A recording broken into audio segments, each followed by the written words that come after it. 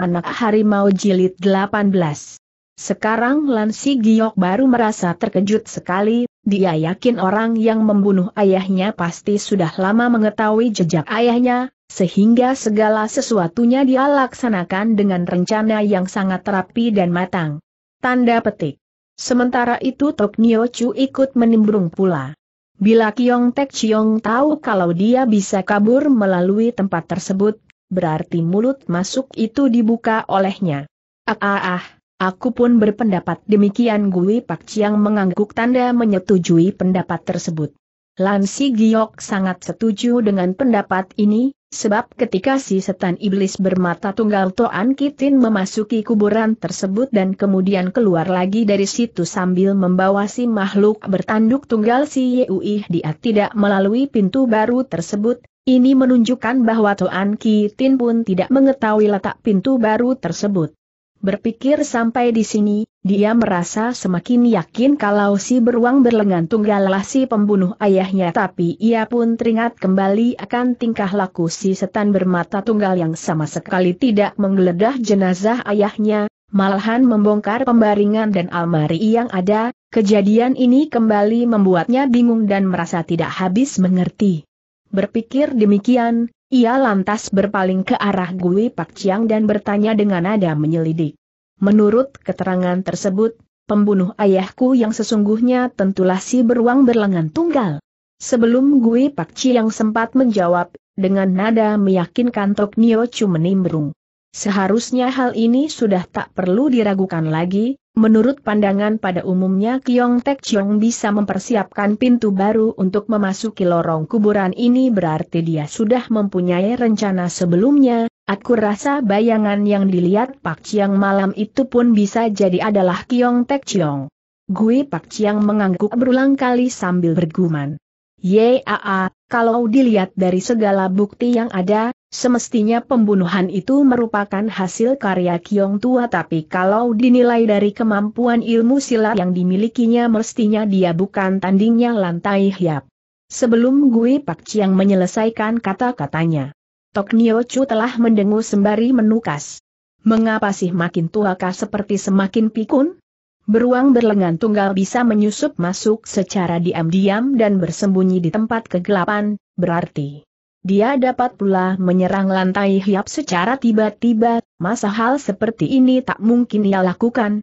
Gui Pangci yang segera terbungkam oleh perkataan itu. Sebenarnya Lan Si Giok ingin menceritakan semua pengalamannya, tapi kemudian ia merasa hal ini tak perlu, sebab hanya akan mengalutkan keadaan saja hingga merugikan diri sendiri. Lagi pula tujuan kedatangannya ke Pek Ho Chai juga tak lain hanya ingin menyerap lebih banyak hal-hal yang mencurigakan dari beruang berlengan tunggal, dari pembicaraannya dengan Gue Pak Chiang. Betul lima manusia cacat dari tiga telaga terlibat semua dalam usaha melacaki jejak ayahnya, tapi dia pun percaya orang yang membunuh ayahnya pasti orang lain. Sebagai seorang pemuda yang saleh, dia tak ingin mengandalkan kepandaian silatnya untuk sembarangan membunuh hingga akibatnya mereka yang tak bersalah pun ikut mengorbankan selembar jiwanya. Bila hal ini sampai dilakukan, bukan saja bibiwannya tak akan senang hati, gurunya pasti marah dan bila sampai tersiar luas dalam dunia persilatan, bukan cuma dirinya akan dikucilkan orang, arwah ayahnya yang berada di alam baka pun akan turut menanggung malu. Oleh sebab itu pemuda tersebut bertekad hendak menyelidiki dulu persoalan tersebut sampai jelas sebelum melakukan tindakan pembalasan. Dari penuturan Gui Pakci yang tentang dibuatnya pintu baru oleh beruang berlengan tunggal untuk melarikan diri, kecurigaannya terhadap Kiong Tek Chiong memang bertambah besar, tapi dia pun tak ingin menyingkirkan rasa curiganya terhadap tingkah laku setan bermata tunggal. Yang menggeledah pembaringan serta barang-barang miliknya. Tok Nio Chu yang menjumpai pemuda itu hanya termenung saja, segera menegur sambil tertawa genit. Xiao Hiap, bagaimana menurut pendapatmu tentang perkataanku barusan? Lan Si Giok segera memusatkan kembali pikirannya seraya menjawab. Hal ini tergantung bagaimana penjelasan si beruang berlengan tunggal setelah berhasil disusul oleh Lo Chai Chu. Gui Pak Chiang menggelengkan kepalanya berulang kali. kami berdua segera bertarung begitu berjumpa. Akibatnya aku tidak menegur, dia pun tidak bertanya, jadi. Berbicara yang sesungguhnya aku sama sekali tidak tahu dengan cara bagaimana si beruang berlengan tunggal bisa mendapat tahu alamat ayahmu dan bagaimana mungkin ia bisa membuka lorong rahasia tersebut. Apalagi berbincang soal jalan pemikiranku waktu itu, masalah-masalah demikian sama sekali tidak penting bagiku.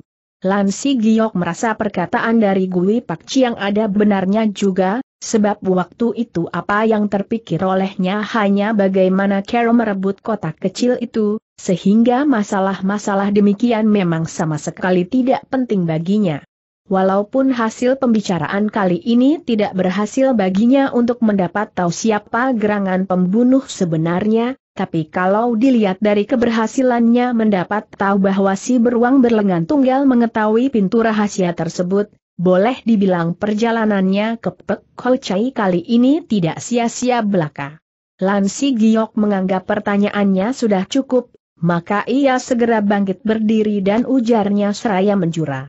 Aku berterima kasih sekali atas sambutan dan jamuan yang diselenggarakan Lo Chaya Chu bagi kehadiranku ini, mumpung waktu belum terlampau larut malam, aku bermaksud untuk mohon diri lebih dulu.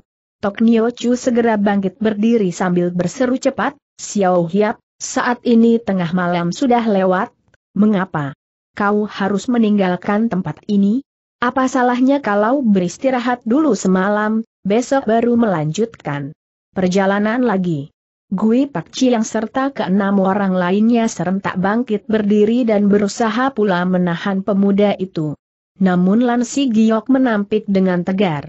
Sekarang aku masih mempunyai urusan penting lainnya. Sehingga tak berani berdiam kelewat lama, maksud baik lo. Cai Chu dan Nyonya biar ku terima dalam hati saja. Seusai berkata dia lantas meninggalkan meja perjamuan. Melihat maksud hati Seng pemuda yang teguh, Tok Niochu tahu kalau percuma saja ia mencoba menahannya, maka katanya kemudian. Bila Xiao Hiap masih ada urusan penting, tentu saja kami tak berani menahannya lebih jauh, cuma dalam perjalanan Xiao Hiap untuk menelusuri jejak musuh besarmu kali ini, Aku pikir pasti membutuhkan seekor kuda jempolan bila Xiao Hiap tidak menampik. Aku bersedia menghadiahkan kuda pek liang kau milikku untuk Xiao Hiap. Lan Si Giok sangat terharu, namun dia pun enggan menerima hadiah orang dengan begitu saja, maka sebelum perempuan itu menyelesaikan kata-katanya, dia telah menjura sambil tukasnya. Aku tak pandai menunggang kuda dan lagi sama sekali tak berpengalaman merawat kuda maksud baik nyonya biar ku terima di hati saja. Selesai berkata kembali dia melangkah keluar dari ruangan. Tok Niochu tentu saja tak ingin memaksakan kehendaknya, katanya kemudian sambil tersenyum. Lan Xiao Hiap, kau terlampau merendah saja? Bersama si Toya Baja berkaki tunggal Gui Pak yang sekalian, mereka menghantar pemuda itu sampai di luar ruangan? Dalam keadaan begini, Lansi Giok hanya ingin secepatnya meneruskan perjalanan, begitu sampai di luar ruangan, dia lantas menjura kepada Gue Pak Chiang dan Tok Nio Chu sambil katanya. Harap kalian berdua menghantar sampai di sini saja, kini tengah malam sudah lewat, tidak usah merepotkan orang lain untuk membuka pintu benteng lagi, Aku pikir ingin memohon diri di sini saja. Gui Pak yang tertawa terbahak-bahak bersama Tok Nio Chu katanya. Jalan pemikiran Xiao Hiap memang amat sempurna, tapi sebagai tuan rumah paling tidak kami harus menghantarmu sampai di atas benteng titik. Lansi Giok tak ingin menampik lebih jauh, tanpa banyak berbicara dia segera melejit ke atas atap rumah dan melayang ke bangunan seberang. Berhubung Gui Pak Chiang dan Tok Nio Chu sudah mengetahui kalau Lan Si Giok memiliki kepandaian silat yang tinggi, meski kagum dan memuji di hati mereka sama sekali tidak tercengang, serentak kedua orang itu menyusul dari belakang. Dalam waktu singkat mereka telah tiba di depan pintu gerbang benteng.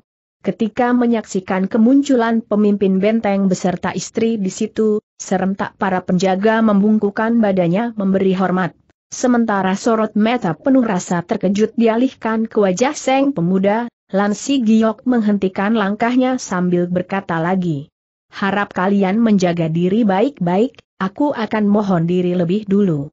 Dengan mengerahkan ilmu Huk Kong Sin Keng untuk menunjang gerakan tubuh menunggang angin terbang melayang, pemuda itu meluncur ke bawah secepat sambaran kilat dan langsung meluncur ke arah hutan pohon syong yang lebat itu.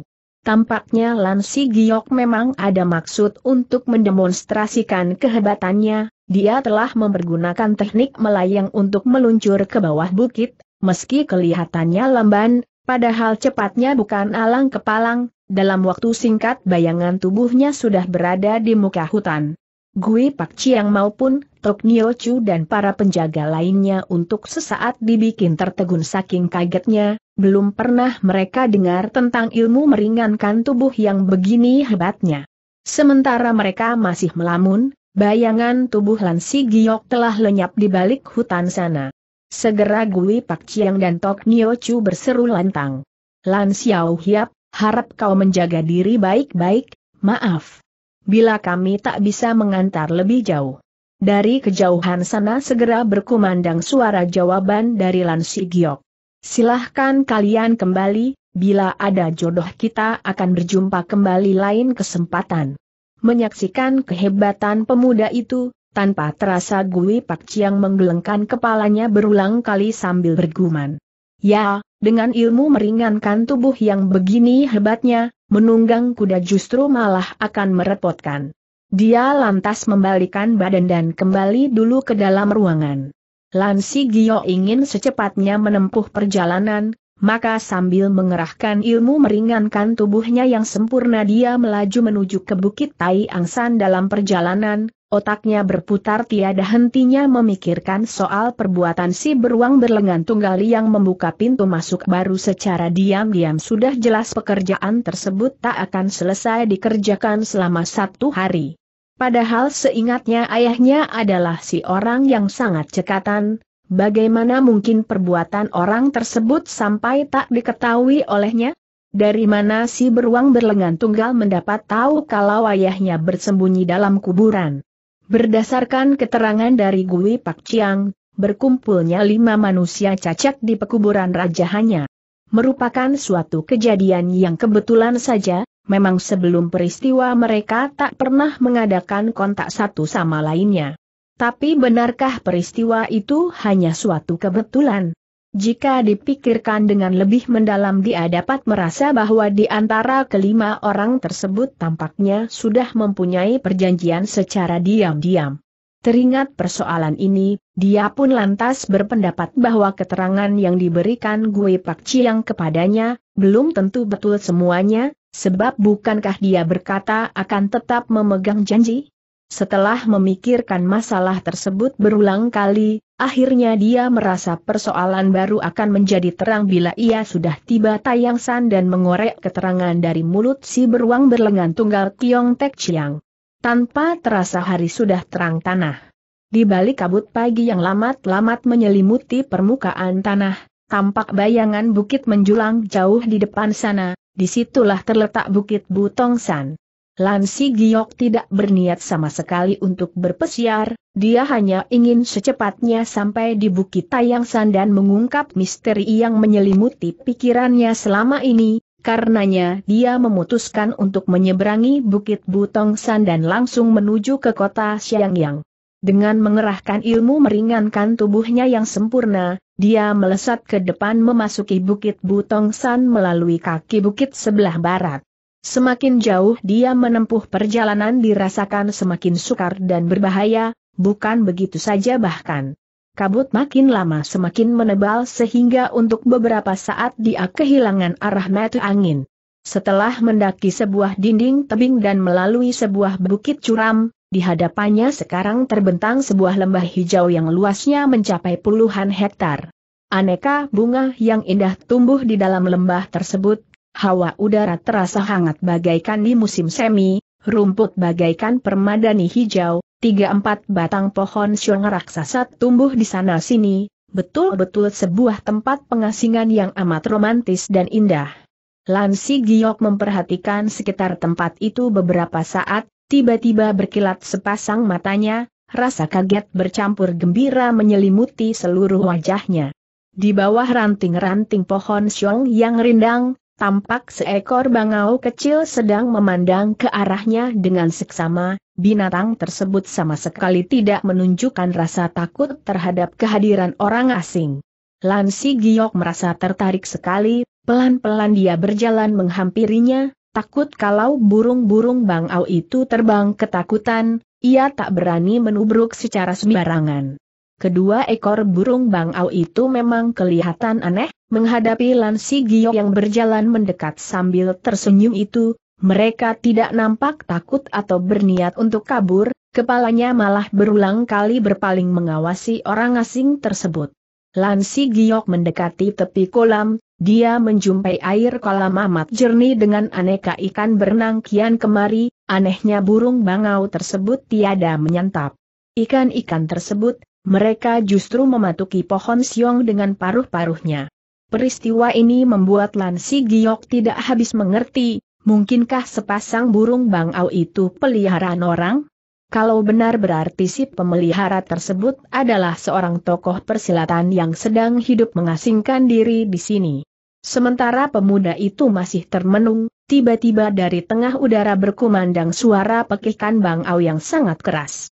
Dengan perasaan terkejut Lansi Giok mendongakkan kepalanya. Tampak seekor burung bangau besar sedang meluncur datang dari arah utara dan menukik ke bawah sambil menyambar seng pemuda yang berdiri di tepi kolam itu. Pemuda itu lantas menduga, bisa jadi burung bangau besar ini adalah seng induk dari sepasang burung bangau kecil itu. Bangau raksasa tersebut sungguh hebat, sambil menukik ke bawah dengan paruhnya yang panjang itu menyerang ubun-ubun Lan Si Giok. Pemuda itu sama sekali tak berniat melukainya, karena menganggap sebagai kewajiban Sang Induk untuk melindungi anak-anaknya, itulah sebabnya ketika Seng Bangau menyerang, serta merta dia melompat mundur sejauh dua kaki lebih untuk meloloskan diri. Siapa sangka baru saja Lan Si Giok menggerakkan tubuhnya, sayap kanan bangau itu sudah menyerang dengan membawa deruan angin pukulan yang amat dahsyat, begitu dahsyatnya kebasan tadi membuat anak muda itu tertegun. Dengan perasaan terkejut Lan Si Giok segera menjejakkan kakinya ke atas tanah dan melayang mundur sejauh lima kaki lebih. Bangau raksasa tersebut memang sangat hebat, di saat Lan Si Giok sedang melompat ke belakang itulah, Mendadak ia rentangkan sayapnya sambil menyerang ke depan, sepasang cakarnya secepat kilat mencengkeram jalan darah Cian Keng Hiat di bahu pemuda itu. Tak terlukiskan rasa terkejut Lan Si Giok menghadapi kejadian ini, sekarang dia yakin kalau burung bangau itu merupakan binatang peliharaan orang, sebab sudah jelas mengerti gerakan ilmu silat. Karenanya anak muda itu mengebaskan kembali ujung bajunya dan melesat mundur ke belakang. Bangau raksasa itu memang luar biasa sambil menyingkap sayapnya, kini dia menyerang dengan paruhnya. Sebagai pemuda yang berjiwa luhur, Lansi Giok tak ingin melukai burung itu, diiringi bentakan keras dia mengeluarkan teknik lembek dari ilmu kebasan baju menyapu angkasa, untuk menghantam burung itu titik. Segulung angin pukulan yang lembut tapi sangat kuat dengan cepat menyambar burung bangau tersebut.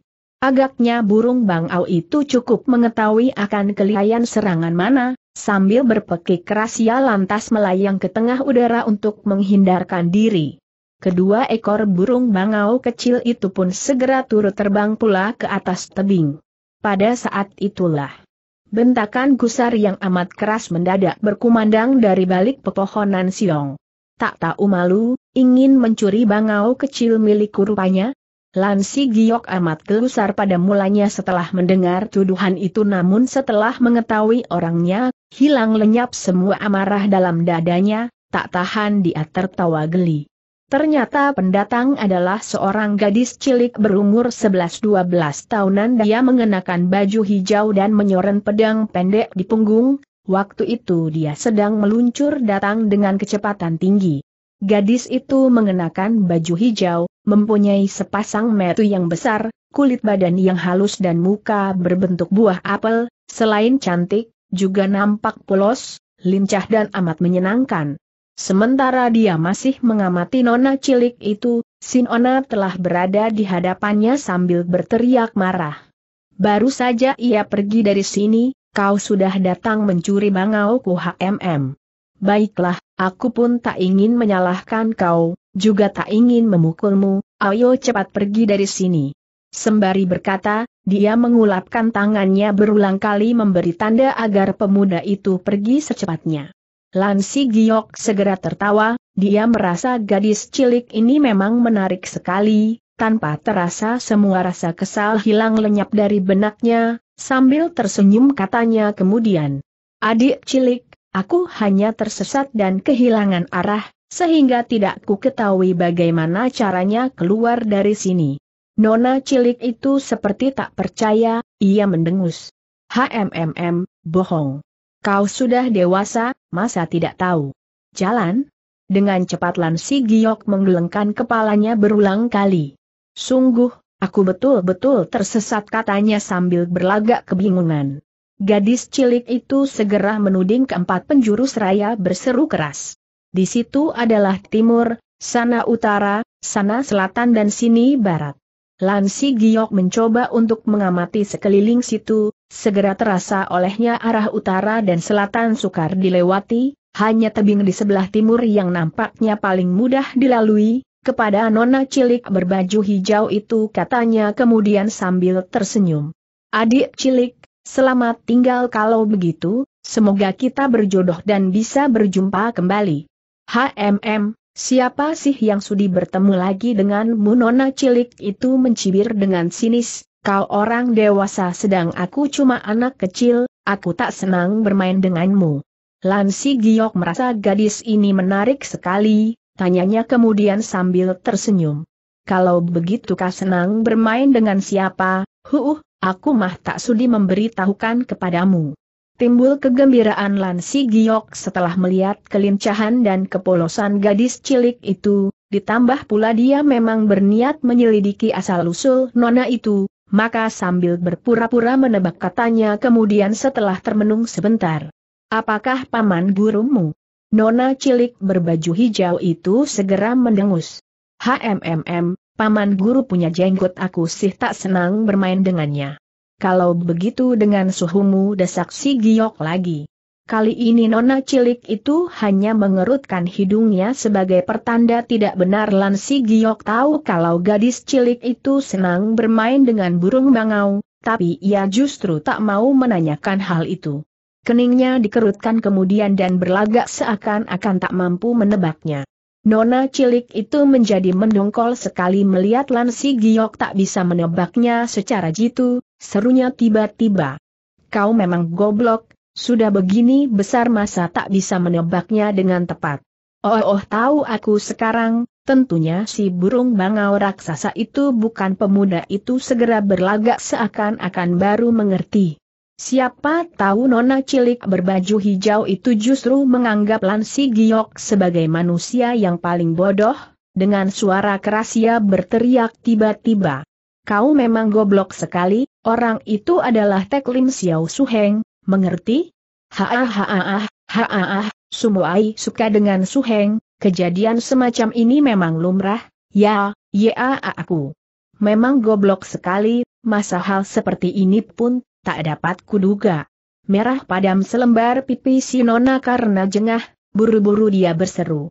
Kau jahat, aku harus menghajarmu. Tubuhnya menubruk ke depan, sepasang tangannya yang kecil direntangkan dan segera menyerang dada pemuda itu. Pada dasarnya Lo Si Giok tidak berminat sama sekali untuk bertarung dengan nona cilik itu begitu usahanya menyelidiki asal-usul nona itu menemui kegagalan dia memutuskan untuk meninggalkan tempat tersebut secepatnya. Sekali lagi ia tertawa terbahak-bahak. Adik cilik, selamat tinggal kalau begitu, harap kau jangan marah-marah.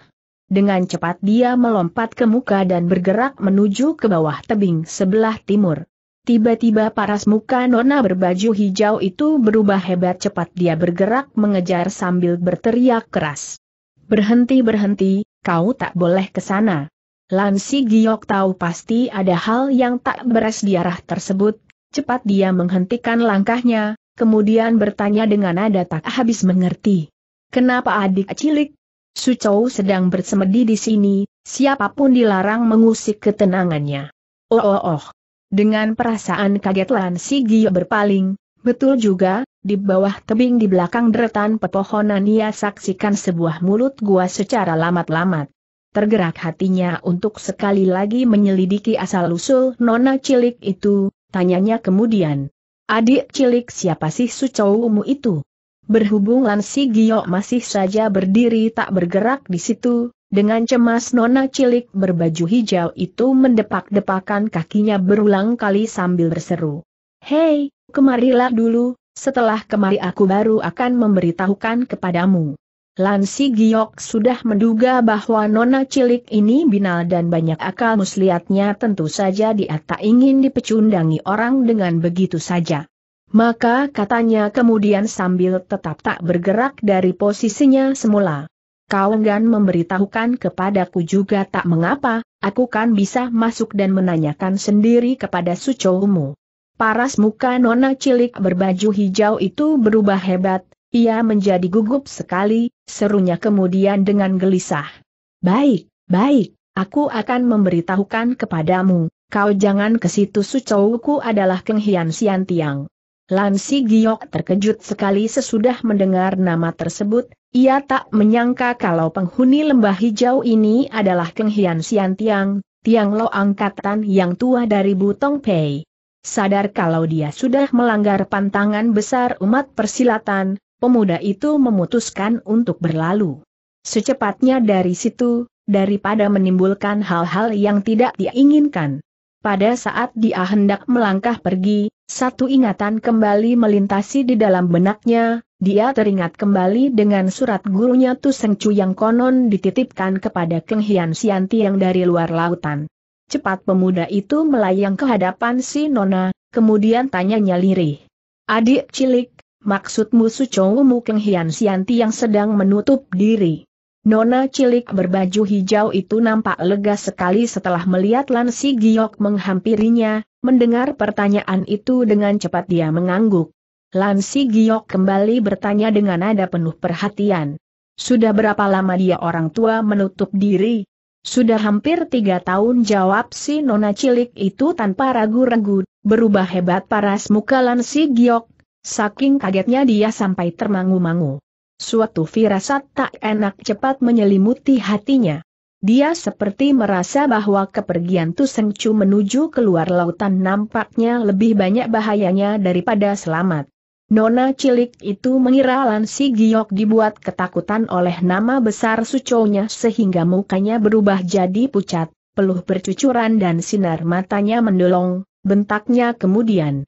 Hi, mengapa kau belum juga pergi? Lan Si Giok berusaha mengendalikan perasaan sendiri dengan cepat, kemudian dengan membawa suatu pengharapan ia bertanya lagi.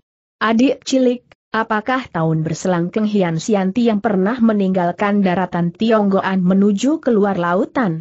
Nona cilik itu menjadi tak senang hati berhubung Lan Si Giok bertanya terus tiada hentinya, sedikit agak marah dia berseru. Kau ini memang aneh sekali, aku kan sudah bilang Sucol telah tiga tahun menutup diri. Itu berarti dia tak pernah meninggalkan guanya barang selangkah pun, buat apa dia mesti bersusah payah pergi keluar lautan? Habis sudah semua pengharapan Lan Si Giok, kini dia sudah tidak berminat untuk bertanya lebih lanjut, sambil mengendalikan gejolak perasaannya yang panik dan tak tenang, kepada bocah perempuan itu katanya kemudian. Selamat tinggal adik cilik, maaf kalau aku telah mengganggu ketenanganmu. Tiba-tiba saja dia meluncur ke arah tebing sebelah muka. Sekali lagi paras muka bocah perempuan itu berubah hebat, sambil membentak keras ia berusaha untuk mengejar dari belakang tapi, baru saja dia menggerakkan badannya, Lan Si Giok sudah mencapai tebing sebelah muka dan melambung ke tengah udara, dalam waktu singkat ia sudah mencapai puncak tebing dan sekali berkelebat, bayangan tubuhnya sudah lenyap dari pandangan mata. Belum pernah nona cilik berbaju hijau itu menyaksikan ilmu meringankan tubuh seperti ini, Tanpa sadar dia hentikan gerak majunya dan membelalakan matanya lebar-lebar sambil menyaksikan bayangan tubuh Lan Si Giok lenyap dari pandangan mata. Perasaan Lan Si Giok saat itu amat kalut dengan membawa perasaan-perasaan pedih bercampur gusar dia. Menembusi hutan mendaki bukit, semua perjalanan ditempuh dengan ilmu lihat Hang Hui Heng yang hebat sehingga gerakannya cepat bagaikan kilat. Dalam keadaan begini, dia hanya ingin secepatnya kembali ke Telaga Foayangoh dan mencari sinaga sakti pembalik sungai untuk menanyakan apa maksudnya dengan permainan surat palsu tersebut. Walaupun begitu, dia pun tidak membenci sinaga sakti pembalik sungai sebab ia tahu sinaga sakti pembalik sungai sampai berbuat demikian pasti diperuntukkan maksud baik.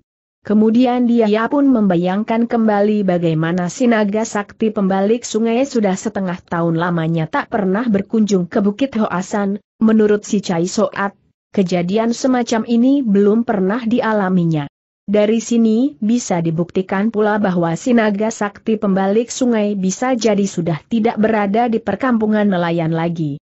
Dia pun masih ingat perkataan dari Sinaga Sakti pembalik sungai yang mengatakan di saat menerima surat tersebut dari gurunya Bibiwan juga kebetulan hadir di situ bila dipikirkan kembali, bisa jadi itu pun merupakan tipuan Sinaga Sakti pembalik sungai.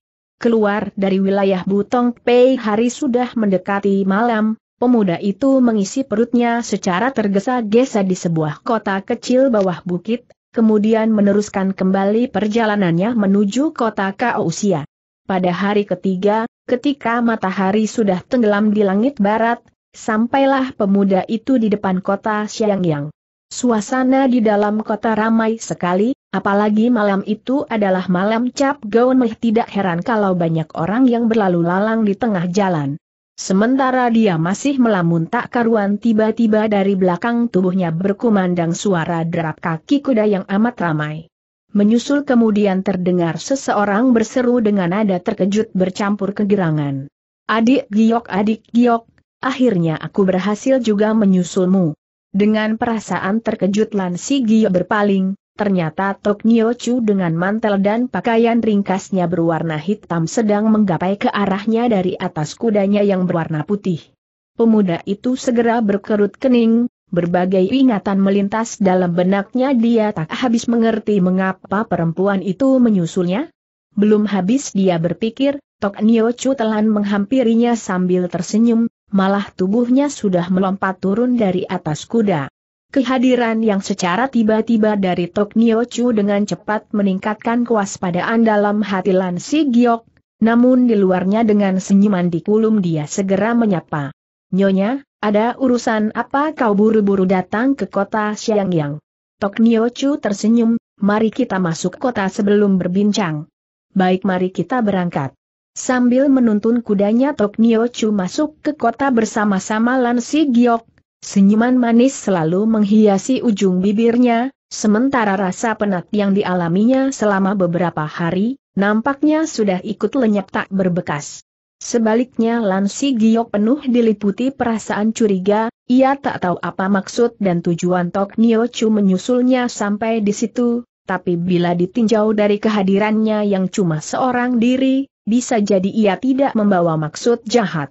Makin ke kota, Orang yang berlalu lalang di jalan Ambon semakin ramai, kini mereka harus jalan berdesak-desakan. Sepanjang jalan boleh dibilang Tok Nio Chu selalu menempel di sisi badan si Giok, bau harum semerbak yang memancar keluar dari tubuhnya, selalu masuk hidung pemuda itu, apalagi sepasang payudaranya yang montok dan padat berisi, setiap kali seperti sengaja tak sengaja digesek-gesekan pada lengan pemuda itu.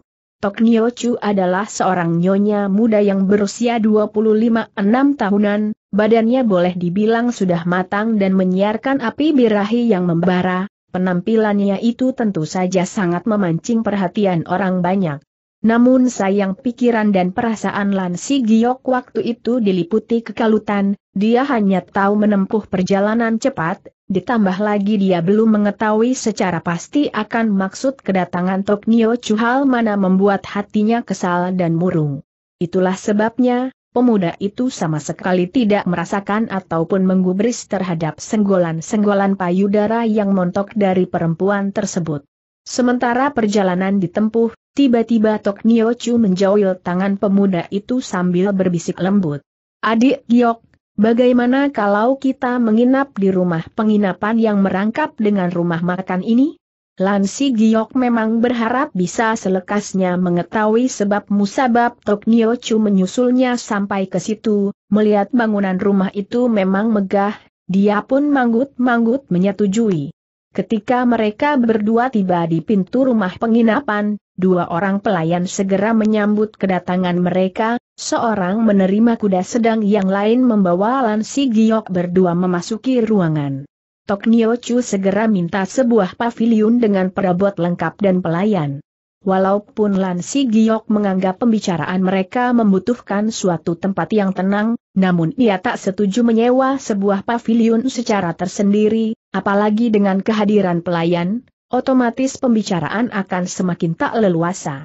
Tapi sebelum ia kemukakan pikiran tersebut kepada Tok Nio Chu, pelayan telah membawa mereka ke depan sebuah pavilion yang indah sekali, karenanya pemuda itu pun mengurungkan niatnya untuk berbicara lebih jauh. Pelayan segera mengetuk pintu, empat dayang membuka pintu dan menyambut kedatangan mereka. Tuan, Nona, silahkan masuk seru mereka hampir bersama-sama.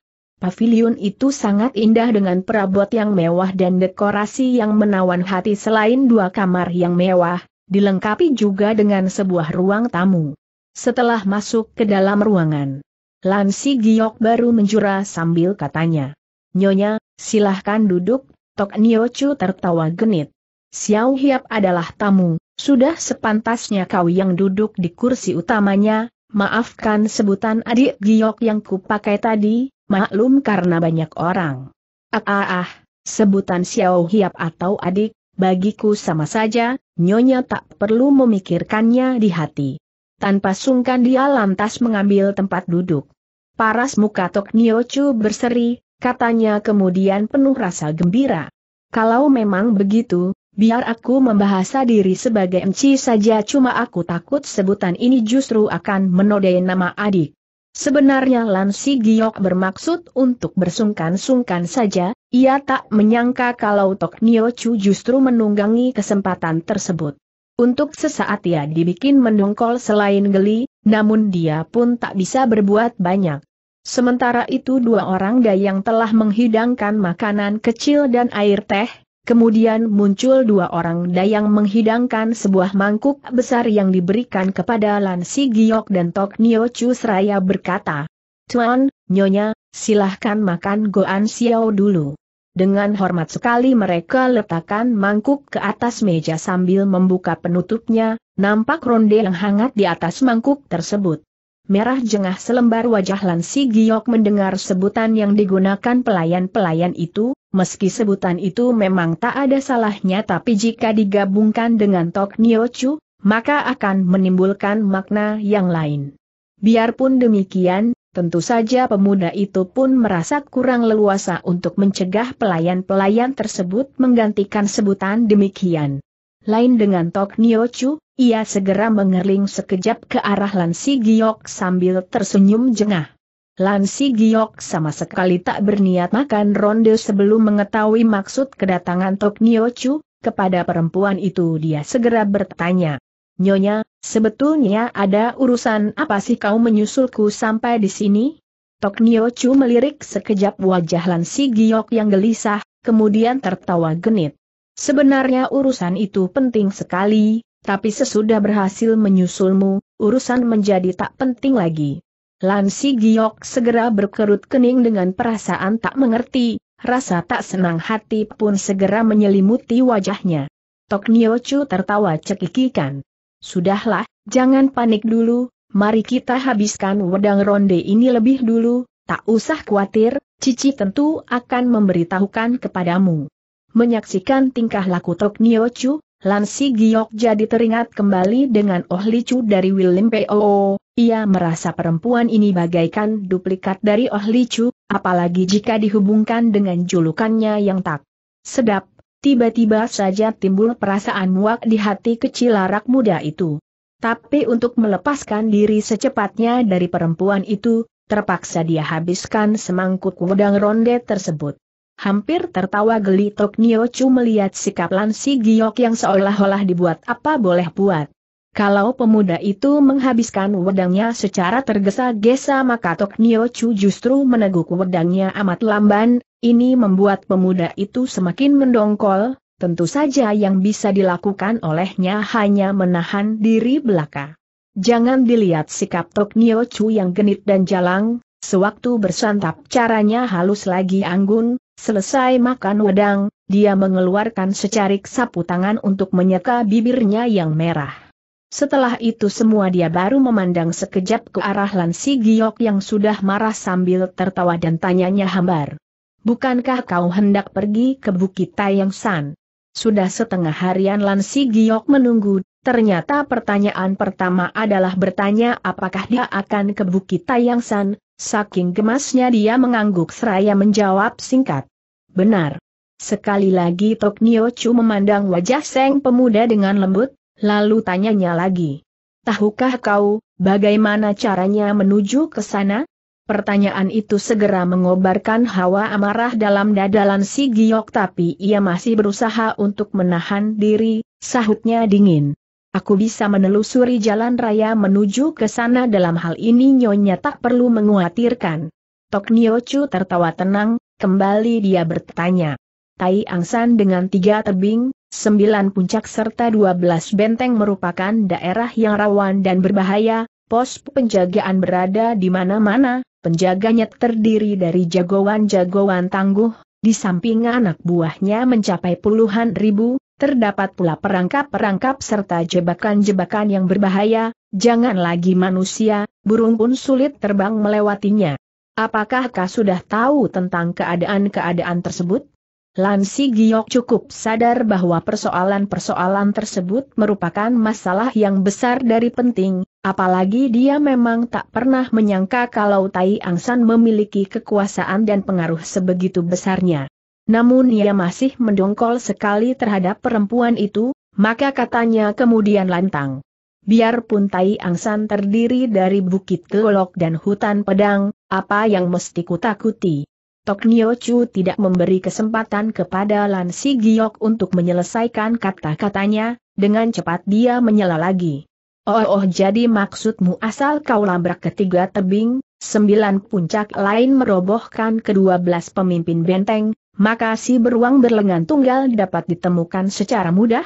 Lan Si Giok tertegun, ditatapnya Tok Nio Chu yang tampaknya sudah mempunyai persiapan matang itu lekat-lekat, Sementara mulutnya terbungkam dalam seribu bahasa. Tok Nio Chu kembali tertawa ringan. Terusnya, berbicara soal kepandaian silatnya, si beruang. Berlengan tunggal memang hanya bisa dibandingkan. Dengan kawasan jago lihai biasa, pada hakikatnya ia tak akan mampu menandingi kemampuanmu.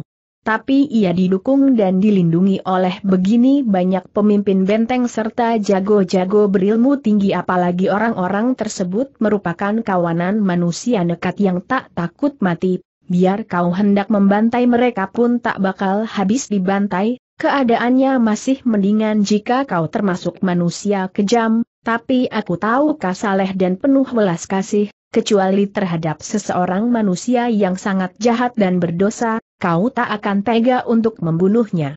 Tanda petik. Ah belum tentulan si Giok segera mendengus, namun ia sadar apa yang diucapkan Tok Nio Chu memang merupakan titik kelemahannya, bila keadaan memang memaksa, aku tidak akan memperdulikan hal-hal semacam itu. Kembali Tok Nio Chu tertawa. Misalkan si beruang berlengan tunggal selalu berusaha menghindarkan diri dan enggan berjumpa dengan dirimu, Bila kau datang ke tebing Bong Tiania, ia pergi ke puncak Tisenghang bila kau pergi ke benteng Gisim Cai dia pergi ke benteng Kacu Cai titik bagaimana tindakanmu. Oh, oh adik Giyokku. Kau toh bukan dewa, Jilong Seng atau Nacasi pangeran ketiga yang mampu merubah diri. Akhirnya kau sendirilah yang bakal kehabisan tenaga dan mati lelah di Bukit Tai Angsan. Diam-diam Lan Si Gio gelisah sekali, Setelah mendengar keterangan tersebut namun dia toh masih juga tak mau mengaku kalah kembali katanya. Aku toh bisa menyusup di tengah malam buta, dan secara langsung menuju ke puncak utama, dengan suatu sergapan mendadak, aku yakin musuh pasti akan kebuakan dan asalkan si beruang berlengan tunggal sudah kutemukan, aku yakin dia tak berakal bisa kabur lagi. Tok Nio Chu mengerling sekejap ke arah Lan Si Giok, lalu manggut-manggut memuji tapi dia toh berkata lagi. Bagaimana kalau sebelum kedatanganmu sudah ada orang lain tiba dulu di Bukit Tai Angsan dan melaporkan kejadian ini kepada si beruang berlengan tunggal? Bila ia sudah mendapat kabar bahwa di dalam waktu singkat kau hendak mencari balas kepadanya, apakah dia bakal menantikan kedatanganmu? Lansi Giok merasa terkejut sekali, paras mukanya berubah hebat dan tanpa sadar ia berseru. Ah ah, masa akan terjadi peristiwa semacam ini Tok Cho tertawa dingin. Kau anggap dengan susah payah aku menempuh. Perjalanan ratusan li untuk menyusulmu, tujuannya cuma ingin membohongi dirimu saja tanda tanya. Dengan cepat si anak muda tersebut merasakan betapa gawatnya masalah yang sedang dihadapi, Seandainya ada orang telah menyampaikan kabar tersebut, dengan wilayah yang begitu luas di Bukit Tai Angsan, memang menjadi kesulitan yang besar baginya untuk menemukan si beruang. Berlengan tunggal bila yang bersangkutan berniat menghindarkan diri. Apalagi di seputar wilayah tersebut memang telah dipersiapkan pelbagai macam jebakan dan alat perangkap, selangkah saja kurang berhati-hati, akibatnya dia bakal mati konyol di tangan musuh. Membayangkan kesemuanya itu, Lansi Giok merasa bertambah gelisah, tiada hentinya ia berusaha untuk bertanya kepada diri sendiri, siapa gerangan orang yang menyampaikan berita tersebut kepada musuhnya. Tiba-tiba satu ingatan melintas di dalam benaknya, ia segera berseru tertahan. Apakah Lo Chaya Chu sudah berangkat ke Tai Angsan? Sementara itu Tok Nio Chu sedang mendongkol karena maksud baiknya tidak ditanggapi sebagaimana yang diharapkan semula, mendengar pertanyaan itu, dia hanya mendengus dingin. HMM. Mereka adalah musuh bebuyutan, setiap kali bertemu pasti saling gebuk-gebukan sampai munkrat darah, mana mungkin ia berkesediaan hati untuk memberi kabar kepada beruang berlengan tunggal. Lantas siapakah orang itu tanya Lan Si Giok berkerut kening, wajahnya gelisah bercampur tak habis mengerti. Tok Nio Chu menjadi tak tega sendiri melihat kegelisahan si pemuda tersebut, katanya kemudian lirih. Orang itu tak lain adalah pelindung benteng kami, si harimau berkaki cebol. Tanda petik. Oh, oh, kau maksudkan manusia yang kutendang sampai mencelat pada malam itu Lan Si Giok seperti baru memahami. Ya betul, dialah orangnya. Sejak kapan ia meninggalkan Pek Chai? Setengah jam setelah kau meninggalkan benteng Pek Ho Chai. Diam-diam Lan Si Giok memperhitungkan waktunya, mendadak berkilat sepasang matanya, cepat ia bangkit berdiri dan berseru kepada Tok Nio Chu sambil menjura. Aku mengucapkan banyak terima kasih atas perhatian Nyonya Budi kebaikanmu pasti akan kubalas di kemudian hari, nah aku hendak memohon diri lebih dulu. Namun Tok Nio Chu masih tetap duduk tak bergerak sama sekali, ditatapnya Lan Si Giok kemudian katanya sambil tertawa dingin. Kau anggap bila berangkat ke Teng Angsan sekarang juga, maka kau sudah dapat mendahului si harimau berkaki cebol sampai di tempat tujuan? Tanpa ragu-ragu Lan Si Giok mengangguk. Sekali lagi Nimochu tertawa dingin. Heeh, heeh, heeh, si harimau berkaki cebol itu membawa bekal banyak, lagi pula dia telah bertekad untuk sampai di tempat tujuan mendahuluimu, saban tempat pemberhentian ia pasti menukar kuda, siang malam ia menempuh perjalanan tiada hentinya, selang beberapa hari berselang ia telah menyeberangi Hansui, Aku rasa hari ini sudah tiba di Tiang Antian dan mulai memasuki wilayah Bukit Tayangsan. Lan Si Giok benar-benar merasakan hatinya gelisah sekali, alis matanya berkerut sepasang matanya berapi-api peristiwa semacam ini benar-benar merupakan suatu peristiwa yang mimpi pun tak pernah dibayangkan olehnya. Tanpa terasa ia bertanya dengan suara mendongkol, menurut pendapatmu, apa yang harus kulakukan? Tok Nio Chu tertawa cekikikan penuh perasaan bangga. Katanya kemudian angkuh. Bukankah sudah kujelaskan tadi? Sebetulnya persoalan ini penting sekali tapi setelah berhasil menyusulmu menjadi sama sekali tak berarti lagi. Dengan perasaan tidak habis mengerti Lan Si Giok menengok ke arah Tok Nio Chu, kemudian tanyanya pula dengan gelisah. Mengapa demikian? Kebetulan sekali para pelayan datang menghidangkan sayur dan arak sehingga pembicaraan pun terhenti sejenak. Tok Nio Chu memandang sekejap hidangan-hidangan yang lezat itu lalu tertawa gesit. Sekarang, minumlah arakmu dengan hati tenang, pokoknya Enci jamin akan memberikan seorang beruang berlengan tunggal yang utuh kepadamu untuk diperiksa dan membalas dendam. Lan Si Giok pun sadar bahwa gelisah terus tidak ada gunanya, hal ini memang perlu diatasi dengan pemikiran yang masak, lagipun Tok Nio Chu berani berkata demikian, hal ini sudah mempunyai keyakinan untuk berhasil satu. Walaupun demikian, berhubung pikirannya sedang kalut, biarpun hidangan yang berada di hadapannya rata-rata sangat lezat, tak sesuapun yang tega ditelan. Tok Nio Chu turun tangan sendiri memenuhi cawan Lan Si Giok dengan arak, sikapnya wajar senyuman manis di kulum, seakan-akan dia sedang merayakan hari Cap Meh tersebut bersama-sama kekasihnya. Lama-kelamaan habis sudah kesabaran Lan Si Giok, tidak tahan kembali dia bertanya. Nyonya mempunyai akal bagus apa sih yang bisa memaksa beruang berlengan tunggal untuk munculkan diri menjumpai aku? Tok Niochu tertawa misterius. Selesai bersantap nanti, mari kita berdua berjalan-jalan melihat keramaian dulu di jalan raya. Kalau kau ingin pergi, pergilah sendiri tampik Linsi Giok agak marah, aku mah tak berhasrat sama sekali untuk merayakan hari Cap Meh ini. Sekali lagi Tok Nimo tertawa cekikikan, dengan cepat dia memberi penjelasan. Setelah mendapat laporan bahwa harimau berkaki cebol melarikan diri pada malam itu, segera kukirim 20 ekor kuda cepat untuk mengejarnya dengan pesan entah dibunuh atau ditawan hidup-hidup, mereka harus bertindak menurut keadaan, selain telah kujanjikan pula agar malam ini berkumpul semua di kota Xiangyang. Maka selesai bersantap nanti kita memakai alasan melihat keramaian di dalam kota, Padahal yang sebetulnya kita pergi mencari mereka. Lan Si Giok tidak bisa berbicara lagi, dia mengerti biarpun si harimau berkaki cebol berhasil disusul olehnya namun dengan anggota benteng yang begitu banyak di Bukit Tai Angsan, rasanya memang bukan suatu pekerjaan yang gampang untuk berjumpa dengan si beruang berlengan tunggal. Begitu selesai bersantap, kedua orang itu segera meninggalkan rumah penginapan. Suasana di jalan raya sangat ramai, manusia yang berlalu lalang sangat banyak sehingga mereka harus saling berdesak. Desakan.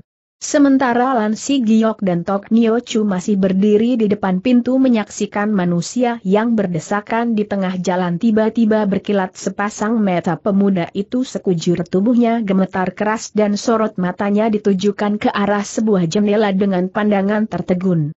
Tok Nio Chu segera merasakan keanehan dari pemuda itu, ia segera menyikutnya pelan. Dengan cepat Lan Si Giok menjadi sadar kembali, dia seperti teringat akan sesuatu tanpa mengucapkan sepatah kata pun, tergopoh-gopoh membalikan badan dan lari masuk ke dalam ruangan. Tertegun Tok Nio Chu melihat hal ini, serunya cepat. Adik Giok. Sambil membalikan tubuh dan menyusul ke dalam ruangan.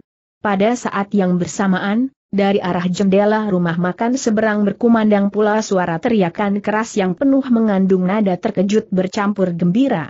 Adik Giok. Tok Nio Chu yang sedang kabur menjadi tertegun, segera ia berhenti seraya berpaling, namun apa yang terlihat membuatnya tertegun. Rupanya seorang gadis berwajah cantik dengan pakaian ringkas warna putih dan menyoren pedang di punggungnya, sedang menyeberangi jalan mengejar ke arahnya. Tok Nio Chu merasa wajah gadis itu seperti sangat dikenal olehnya seakan-akan pernah bersua di suatu tempat, hidungnya yang mancung matanya yang jeli, bibirnya yang mungil serta wajah berbentuk kuaci yang diliputi kegelisahan.